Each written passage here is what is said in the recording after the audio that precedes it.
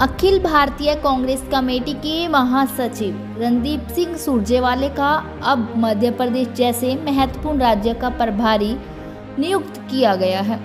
230 विधानसभा सीटों वाले मध्य प्रदेश में इसी साल के अंत में विधानसभा के चुनाव है। कर्नाटक जैसे राज्य में कांग्रेस को सत्ता में लाने में अहम भूमिका निभाने के बाद अब यह एक और बड़ी ज़िम्मेदारी रणदीप सुरजेवाला को दी है। चुनाव प्रबंधन और रणनीति में माहिर माने जाने वाले रणदीप सिंह सुरजेवाला संगठन में कई बड़े पदों पर रह चुके हैं। तो अनेक मौकों पर पार्टी के लिए संकट मोचक भी साबित हुए हैं। गांधी परिवार के भरोसेमंद माने जाने वाले रणदीप सुरजेवाले का एक सुलझे हुए अधिवक्ता होने के साथ ही पार्टी के एक अच्छे वक्ता भी है। उल्लेखनीय है कि रणदीप सिंह सुरजेवाला को सितंबर 2020 में कर्नाटक का प्रभारी नियुक्त किया गया था और वे कर्नाटक में कांग्रेस की बड़ी जीत के बाद प्रदेश के प्रभारी बने हुए हैं। और वीरवार को सुरजेवाला को मध्य प्रदेश का प्रभारी भी बनाया गया और वे दोनों राज्य को प्रभारी बने रहेंगे।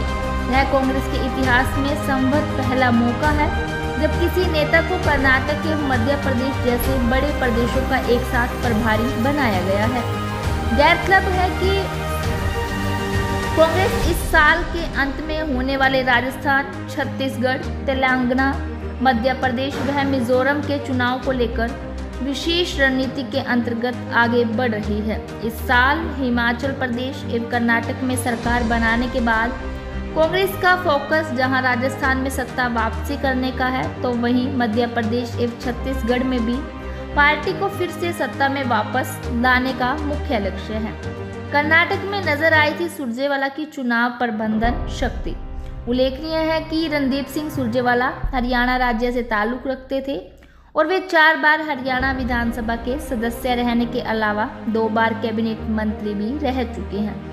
युवा कांग्रेस के राष्ट्रीय अध्यक्ष रहने के अलावा वे हरियाणा प्रदेश कांग्रेस कमेटी के कार्यवाहक, प्रधान रहने के साथ ही राष्ट्रीय मीडिया प्रभारी भी रह चुके हैं। कर्नाटक में विजय पताका फहराने के बाद अब कांग्रेस इसी साल के अंत में होने वाले पाँच राज्यों, मध्य प्रदेश, छत्तीसगढ़, राजस्थान, मिजोरम है, तेलंगाना के विधानसभा चुनाव को लेकर, जहाँ पूरी सक्रियता के साथ इन राज्यों में जीत के लिए रणनीति बनाने में जुट गई है तो वहीं इसी कड़ी में कर्नाटक में पार्टी के लिए जीत की राह आसान बनाने में अहम भूमिका निभाने वाली पार्टी के राष्ट्रीय महासचिव, एक कर्नाटक के प्रदेश प्रभारी रणदीप सुरजेवाला पर हाईकमान ने भरोसा जताते हुए उन्हें मध्य प्रदेश के चुनाव के लिए भी बड़ी अहम ज़िम्मेदारी सौंप दी है। हाईकमान ने सुरजेवाला की विशेष रणनीति और इस परिणाम को देखते हुए उन्होंने वीरवार को कर्नाटक के साथ साथ मध्य प्रदेश का प्रभारी नियुक्त किया है। राजनीति पर्यवेक्षकों का मानना है कि मई 2023 को हुए कर्नाटक विधानसभा चुनाव को लेकर कांग्रेस के समक्ष कई बड़ी चुनौतियाँ थी और विरोधी पार्टियों के निशाने पर कांग्रेस ही थी।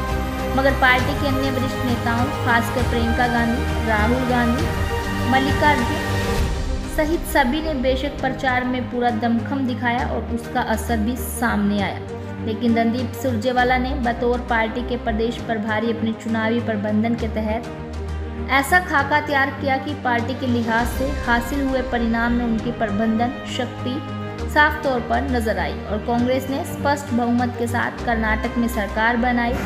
अहम बात है कि अभी जुलाई के अंत में ही रणदीप सिंह सुरजेवाला को पार्टी।